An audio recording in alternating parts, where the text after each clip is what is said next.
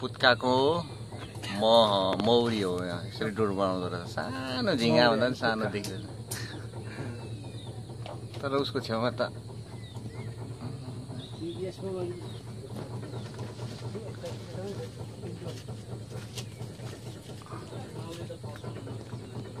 कतिवटाको कलेक्सन हो यो?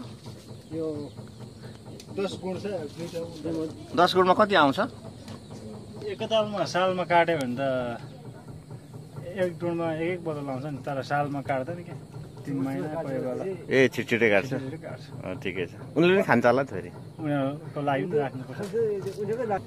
हिजो काट्यो भने। ए। ल ल अब यस्तै पाल्नु। यो यो पालेर यसो पकेट खर्च निस्किन्छ। यो गर्नुपर्छ यो। त्यति मिहिनेत पनि छैन ख्याल गर्नुपर्छ होइन? यसको पनि रानी हुन्छ होइन? हुन्छ कमिलासँग चाहिँ जोगाउनुपर्छ अँ कमिलाबाट ऊ कमिला कुदिँदैछ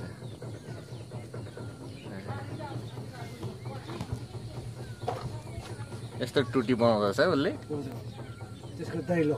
ल ल ल